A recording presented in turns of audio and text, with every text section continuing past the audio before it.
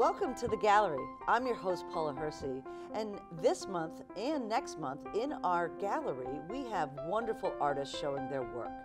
The Visual Artists Cooperative is here for two months.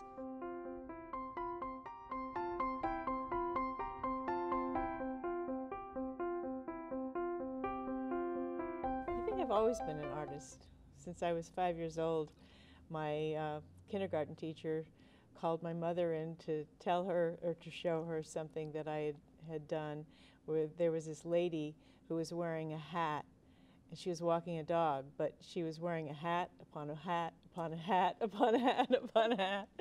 And uh, anyways, I think the, um, the teacher asked if she could keep that particular painting. I first had been a photographer, and I think I got my first camera at the age of eight years old, and that's when it began. And uh, I have just chronicled life and nature for my entire life. And I actually started drawing when I was a child, um, and uh, started taking lessons at about age 10. And um, I've just always been inspired by what I see and how it makes me feel. I knew I was an artist when I was getting tossed out of classes for drawing the faces of the nuns. well, I suppose in school, uh, when there was some work to be done for the billboard, the boards, or I would be the one to, to do the billboards or whatever. Well, I can never remember not doing art. So, as a little kid, and uh, I'm, as I said, one of three girls, and we're very close in age. And every Christmas we would get the same gift, but maybe a different color. And one Christmas I got a set of paints. And I realized it was so special to me because I realized my parents saw something in me finally and uh, encouraged me. When I got into high school, um, I was in Boston. Um, and the Boston Museum of Fine Arts had a wonderful program for the talented art uh, students in high schools in Boston. And I was privileged to be one of those who were chosen to take this program. Recently, I'm really excited about encaustic painting, which is um, an ancient uh, method of painting with beeswax and um, pigment that goes back to the Greeks and Romans, uh, 5,000 years. So it's totally archival process. What happened is I started out in oil painting and I took an etching class as an undergraduate and somehow immediately had a uh, style in it, just naturally. So when graduate school, I switched from being a painting major to being an etching major and did that for many, many, many years.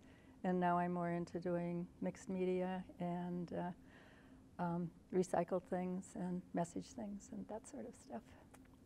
My hand was not as steady as I wanted my um, my paintings to be. So, out of frustration, I developed a technique that I actually earned a patent on at, um, back in 1984. Um, and it is a raised edge that I create on the canvas that you can mm -hmm. see here. It's a stitched edge and it's rigid. And I stitch it, I gesso it. So my paintings do take a little bit of pre-planning. Ever since I started doing watercolor um, 15 years ago or so, um, and uh, once I started, I didn't want to do anything else.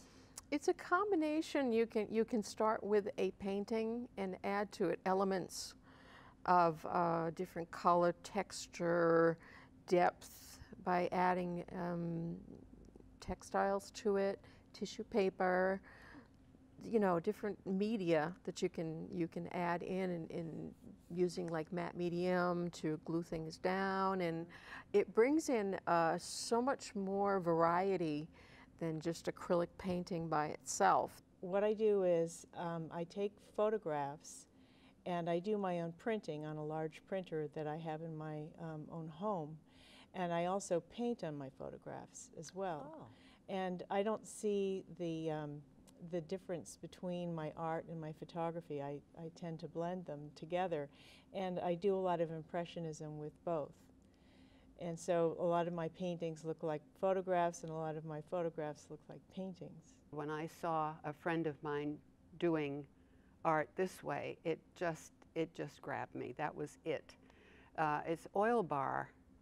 It's um, it's like a big fat crayon, and it has the same properties that oil paint has. It dries the same way. It's sort of held together with wax, and you just smush it on the paper, and there's no brush. You use your hands, and it's like finger painting. You mush the paint around, you mix it right on the paper, add color on color, and just mix it until you think you have the right color. And if there's an underpainting, you can scratch into it, and the color of the underpainting shows through. It's great fun. It really and lends itself to abstract art, which is what I do.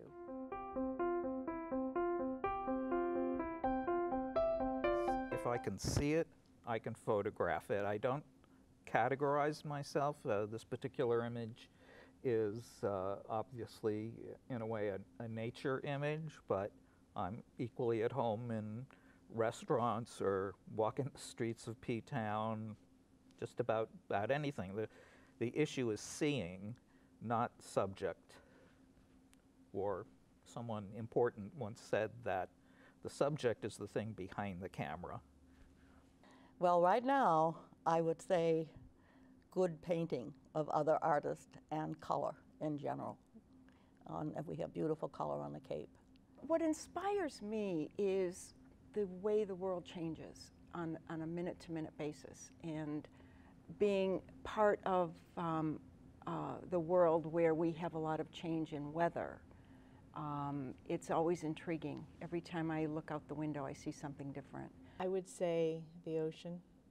Just today, I was out with my camera and photographing the waves, the wave action um, off the shore. And I always carry my camera in my purse, no matter where I go. And the, the colors on the Cape and the light on the Cape, it, there's none other. I think every artist is inspired by nature. But I was an art teacher, and those the children's art, the way they made their art, inspired me more than anything.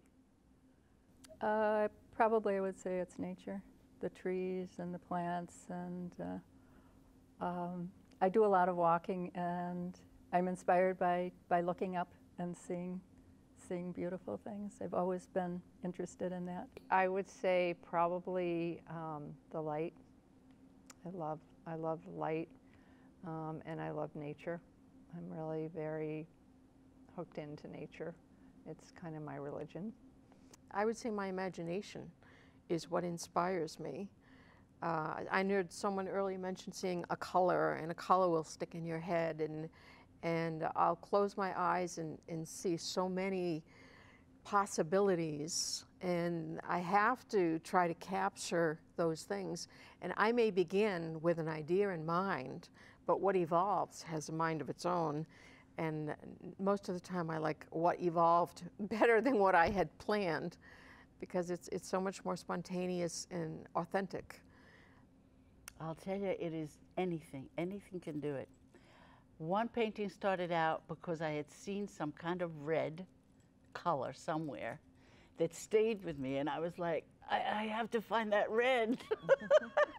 and I started trying to get to the red that I had seen. But before you know it, I had to have a line in there, and then I, and so um, my job is to stay open. That's what I think my job is as an artist, is to stay open. Uh, somebody said, don't ask the artist what their painting is about. They don't know.